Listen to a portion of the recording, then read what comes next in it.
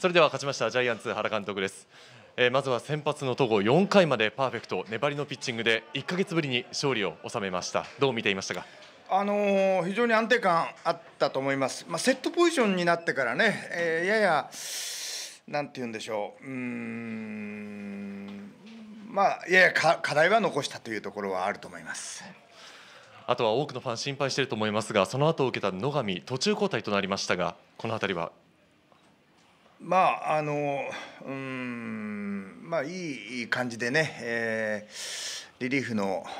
役割の中でね、えーまあ、やってくれてたんで、えーまあ、登登板型なのかよく分かりませんけれどもまああのうんまあ投げ投げることができない状況になったということですね、まあ今日に関しては。えー、打つ面ではウィーラーが好調22試合連続安打見事なタイムリーでした。そうですね。あの、え、安定してね、えー、非常にこうコンパクトなスイングというんでしょうか。やっぱりあのこうクイックハンドっていうんでしょうかね。やっぱりすごく回転軸がしっかりしてるから、まあ、あれだけ正確なコンタクトができるのかなという感じがしますね。ただ競ったゲームやはり決めるのは4番の1本ですね。そうですね。まあ今日はあ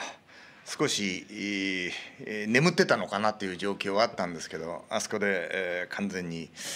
眠り京志郎みたいな形でね起きましたね。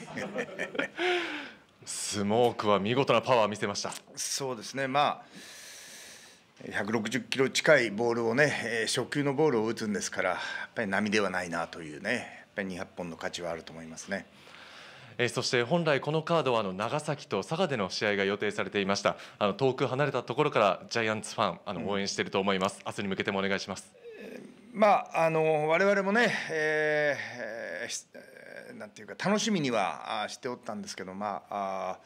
こういう形になったという点ではね、え長崎佐賀のファンの方にはね申し訳ないことしたと。えー、まあまた必ずねそういう時が来ますので、まあ、その時には、えー、いいプレーを見せたいというふうに思ってます。ありがとうございます。原監督でした。